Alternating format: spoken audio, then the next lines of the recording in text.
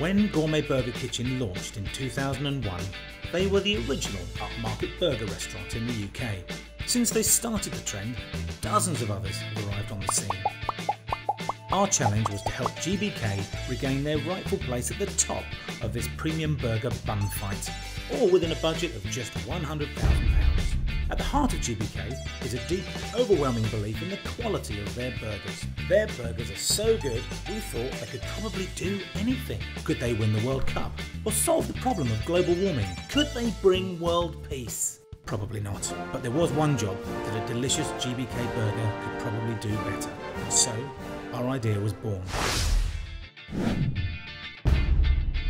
GBK loved the idea so much they agreed to develop a recipe for a rump burger. So we became the first creative agency to solve a brief with a burger.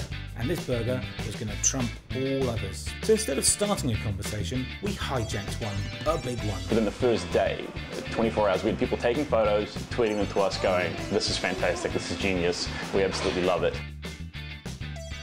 It just seemed like everybody was fully engaged and understood what we were doing, which was, which was wonderful. The response to the campaign has been fantastic. There's been a lot of hype and a lot of people very excited. It's just out there, it's in your face. The vote Rump, everything about it. You want in, you just want in. We launched our campaign during the peak of the 2016 US presidential election. Unfortunately, the world didn't get the result it expected. But GBK did. Our Rump Burger was their best selling promotional burger ever. And GBK once again was the brand on everyone's lips.